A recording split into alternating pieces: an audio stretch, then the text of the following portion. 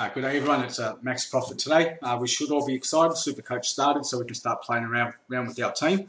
Look, uh, today's video is to explain what a cash cow is and how to trade them effectively to maximise your profit and get money into your salary cap. But by doing this wisely, you can use the funds to upgrade another player in your team to a gun player, like Gary Ablett, for example. So what is a cash cow? Typically, they're priced from around 95,000 to 200,000. Uh, they're normally from last year's draft and they range from anything from a first round draft pick in the national draft to a mature player picked in the, in the rookie draft. And they must be ready to play one, round one or two. Uh, there'll be other cash cows that, that, that, will play later in the season, but this is specifically for your starting lineup. Now, um, the cash cows, their price will increase after the third game and continue to rise until their break-even scores match their average.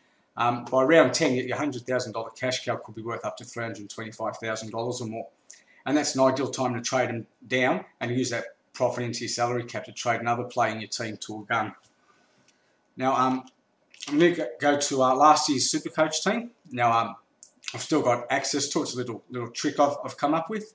Um, so anyway, look, um, if you look at your, your teams generally, you're going to have your, your gun players, then your mid-range players, and then start putting in, in your cash cows. Example there, Nick Nick Duigan. And I'm going to use uh, Jack Darling for, for the purpose of the example I'm going to show you next. Now, if you look at his, um, these are his uh, um, prices from last year. So you look at round three, it's gone up to 163,000 and his price keeps going up until it peaked in round 10 at 327,300. So that's about the time his um, break-even score matched his average, and as you see there, he didn't rise in price in price again. Now, um, that would have been an opportune time to, to trade him out of your team. So Tendai Mzungu he played his second game in round 10. So between round 10 and 11, if you traded down Jack Darling to Mzungu, you made a $227,000 profit. Now, uh, if you like me, I like to keep at least $100,000 or more in the salary cap. So using that as an example, so I had 100 grand, I've got now got 327,000. So I could uh, trade another cash cow on your team or, or, or a mid-range player and get a gun player. Now I'm going to use um, Dane Swan as an example.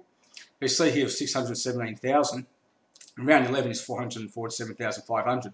So I could have used those funds from the cash cow to get a gun player, like, like Dane Swan in this example, for, for, for a massively discounted price. Now, if you see here, his scores were still quite high, but um, you're happy with those scores. But because his um, break-even score is, is, pretty much his average, and he needs to maintain his average for, for his score to stay the same, it's fairly hard to do. So just, just one bad game is, is going to um, make his uh, score go down. And you see there, he had four bad ones in a row and you got him at a bargain price there. And, and look at the scores he got when he when he when he came back from uh, Arizona last year. So um, look, I'm just going to show you another little example here of some trades that I did last year.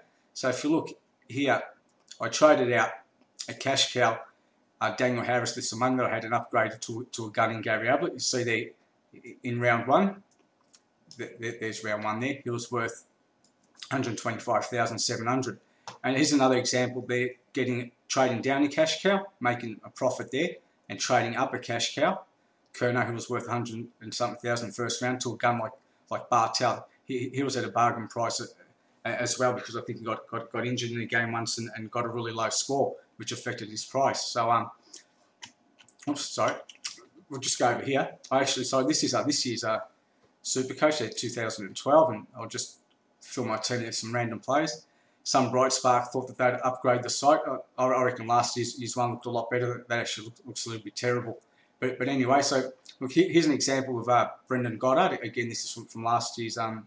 So you see his price was 633 grand, discounted to 418,600 by uh, by round 11. So look, uh, sometimes it's a risk not to pick the most expensive players in, in, in the competition, but if their price does go down, then, then you can pick them up at a bargain price. And it's going to happen. It's not necessarily going to always be Goddard or Swan, but those really high players, uh, expensive players, there's going to be one, two, or three throughout the season that, that are going to drop in price for various reasons. And, and, and they're the ones to, to, to, jump onto when, when you trade your cash cows out.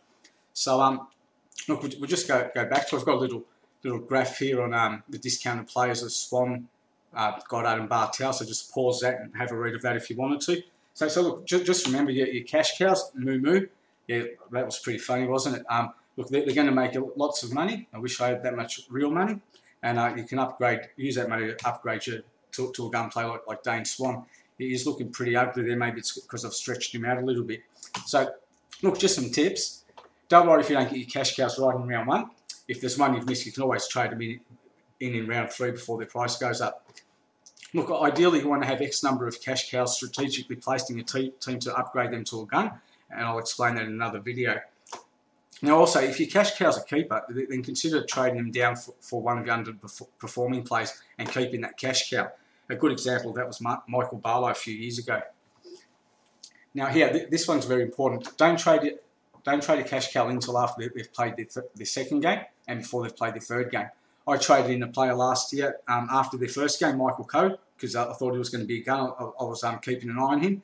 He scored 80 and 80 in his first two games, but in the second game, the last quarter, he tore his hamstring off the bone and didn't play again for the year. So I wasted two trades because I had to trade him out and didn't make a profit on him. So always make sure that you trade him in between the second and third game.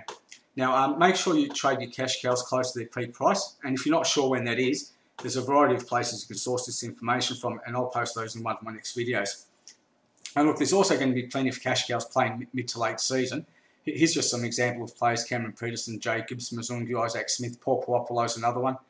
Now look, um, if you, you, trade your cash cows wisely, it's going to separate yourself from the pack and you end up with a team of guns. Um, if, if, you do it right, your scores are going to should skyrocket mid-season. Now, I generally do, do quite well uh, um, in, in, the top 5,000 most years.